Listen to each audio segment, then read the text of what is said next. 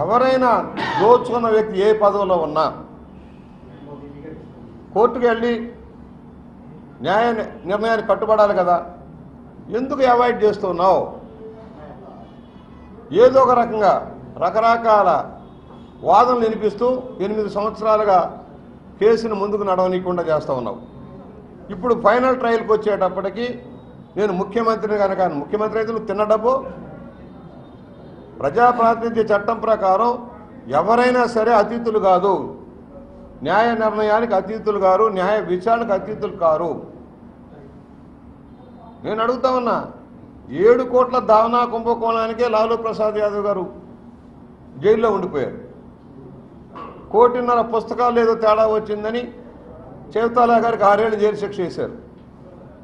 మరి ఇక్కడ ఈ నలభై మూడు వేల కోట్లు ఒకటా రెండా నలభై మూడు వేల కోట్ల దోపిడీదారికి ఎంత శిక్ష పడాలి? ఎందుకు వై ఆర్ అవాయిడ్ అందువల్ల నీ మీద ఏదో ఒక సామెత ఉంది.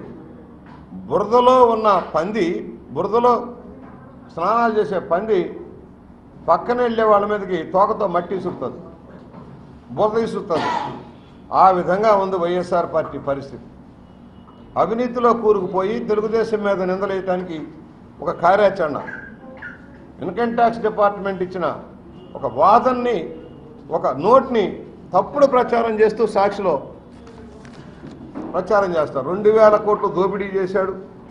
ఇది గోరంతా కొండంత అని విజయసాయిరెడ్డి ఢిల్లీ వెళ్ళి సిబిఐ విచారణ ఎవరు చేయాలో ఆయన పేరిస్తాడట దొంగకు తాళాలు చేతులు ఇచ్చినట్టు వాళ్ళ మీద జరిగే విచారణకి సిబిఐ పేర్లు మార్చాలట. సిబిఐ అధికారులు మార్చి ఆయన చెప్పిన వాళ్ళకి సిబిఐ అధికారిగా పోస్ట్ చేయమని అడిగారంటే ఎంత దౌర్భాగ్యం ఆలోచించండి. మోడీ గారికి ఇచ్చారు. ఆయన అమిత్ షా గారికి ఇచ్చారు మార్చమని. అంటే ఉద్దేశం ఏంటి?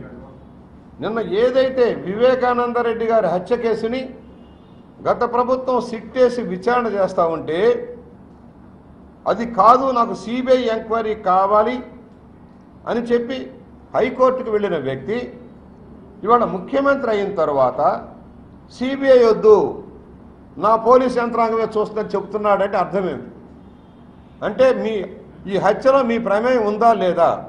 మీ కుటుంబ సభ్యుల ప్రమేయం ఉందా లేదా? తేలకుండా కనీస సాక్ష్యాలు లేకుండా చేశారు ఆ రోజునే హత్య కాదు గుండెపోటు అన్నారు. సాక్ష్యాలన్నీ తారుమారు చేశారు ఆ రోజున. ఇవాళ సిబిఐ విచారణకి కోర్టులో పిటిషన్ వేశాడు మర్చిపోబాకండి. ఇలాంటి వ్యక్తులు నీతి నియమాల గురించి మాట్లాడుతున్నారంటే చాలా దురదృష్టకరం. తెలుగుదేశం పార్టీ మా విధానాల్లో మేము పనిచేస్తున్నాం. మా పార్టీ సభ్యత్వాల ద్వారా ఏదైతే సహజంగా వచ్చే విధానాలు ఉన్నాయో దాని ప్రకారం మేము చందాలు వచ్చిన party accounting every year accounts భారతదేశంలో అకౌంట్స్ని ఖచ్చితంగా సబ్మిట్ చేసే పార్టీ లెక్కల ప్రకారం తెలుగుదేశం పార్టీ. రెండు సంవత్సరాలకు రెండు సంవత్సరాలకు సభ్యత్వం స్వీకరిస్తాం ఎవరైనా పార్టీకి చందాలు ఇచ్చినా ఎలక్షన్ ఫండ్ ఇచ్చినా అకౌంటబిలిటీ మేము చూపిస్తా ఉన్నాం. ఎక్కడ రూపాయి తేడా లేకుండా చెప్పే ఏకైక పార్టీ తెలుగుదేశం పార్టీ. నువ్వు చూపిస్తా ఉన్నావా? నీకు వచ్చిన వేల కోట్ల రూపాయలు. నిన్న ఎలక్షన్లో భారీగా ఖర్చు పెట్టావు. ప్రతిపక్షంలో ఉండి భారీగా ఖర్చు పెట్టావు. ఎక్కడి నుంచి వచ్చింది నీకు ఆ డబ్బంతా? మేము చేతులు ఎత్తేసాం మా దగ్గర డబ్బులు లేవు. మా దగ్గర డబ్బులు లేవు. మా వాళ్ళంతా గోల. డబ్బులు లేవు ఎలక్షన్లో పోటీ చేయబోతున్న అవతల వాళ్ళు డబ్బులతో వచ్చారు. ఇరవై కోట్లు ముప్పై కోట్లు ఒక అభ్యర్థి ఖర్చు పెట్టారు మీరు. ఎక్కడి నుంచి వచ్చింది? ఇదంతా లెక్కలు చూపించావా అని అడుగుతా ఉన్నాం. జగన్